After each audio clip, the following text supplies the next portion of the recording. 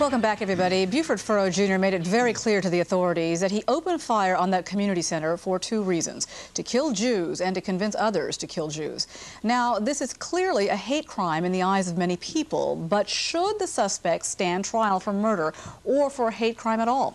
Joining us now live in our studios, radio talk show host Rabbi Yaakov Spivak. Thanks for joining us. And he's here to talk with us about your points of view on a very troubling situation. Certainly, you have listeners calling in outraged by what has happened. At the same time, many people resign to the fact that we're living under the same climate with issues that still plague us today.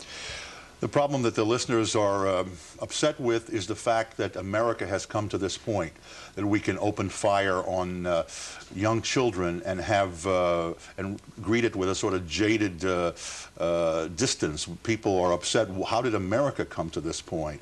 I don't think the anger is directed so much as this man who may turn out to be just a, a nut, but but we're angry at ourselves. Some of my listeners are calling and saying, "Why are we able to take this and walk walk away from it? Why doesn't it bother us? What happened? What would have happened 30 years ago? Why is it that we can? But don't you think a lot of people are bothered by this? They are outraged. I mean, the fact that somebody could open fire on young children, innocent children.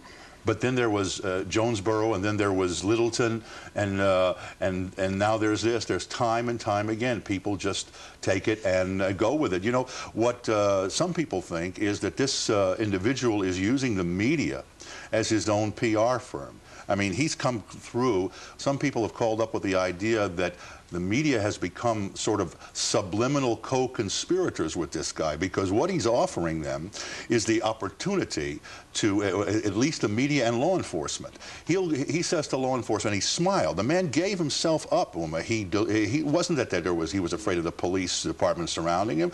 This man took a taxi to, to, to Las Vegas, walked in with a smile to the FBI headquarters, and says, "This is a wake-up call to kill Jews." All of a sudden, all over the country, front page New York Times. I heard it six times on the Today Show today. Conspiracy, uh, wake-up call to kill Jews, over and over. He's using the media. He's, a lot of times in situations like this, suspects with these kinds of minds uh, feel that they are glorified because they are uh, front page news. And right. they are the lead story on every newscast. And, and how do you do it? You walk in and you open fire on kids, and then the media, he's saying to them, he's trying to have the media enter into him with a pact with the devil. He's saying, you know, uh, you want to sell soap, here's how you do it plaster my face all over the networks, plaster my face all over the, the, news shows. But one could counter that by putting these stories out there, that it shows people the climate of hate that we still live under. Yes, but he is appealing to a certain uh, group of people who are going to look at him as a hero. How, how many uh,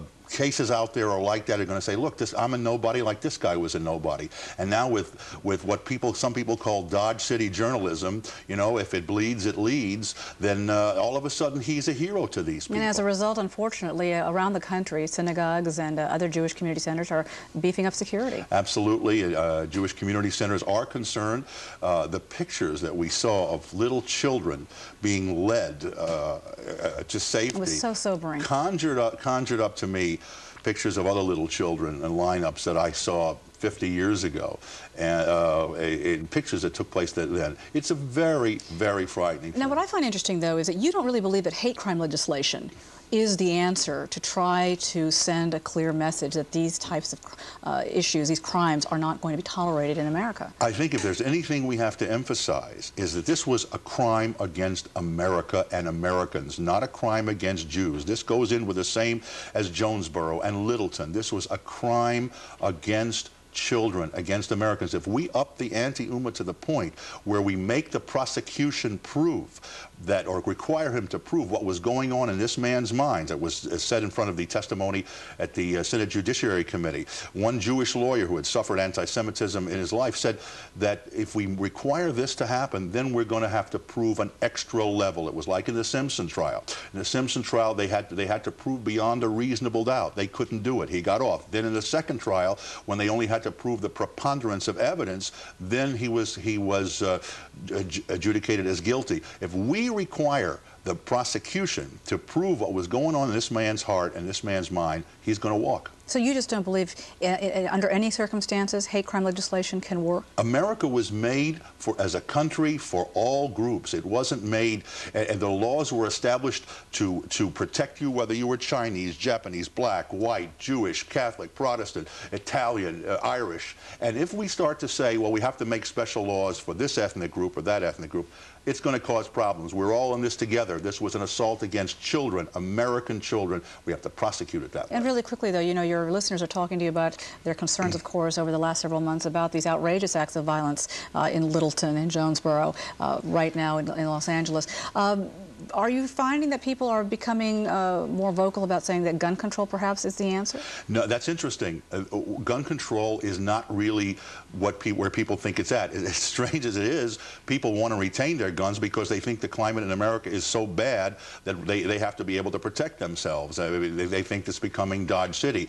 What they think is happening, what my callers tell me, is that we have to make sure that the law enforcement does its job. Why would this guy walking, as your own reporter said, why was this guy walking after having uh, supposed to have given himself up and surrendered uh, to uh, for carrying a gun? And they, they, it wasn't a big deal to them. They let him walk, and this is what happens. To, to make new laws every time something happens can bring anarchy, my listeners are saying. Let's enforce what we have on the books. We came this far in America with it, and it stood us in the past, and it's going to stand us good in the future if we enforce the laws on the books. All right, Rabbi, thank you so much for joining us. We appreciate your insights today.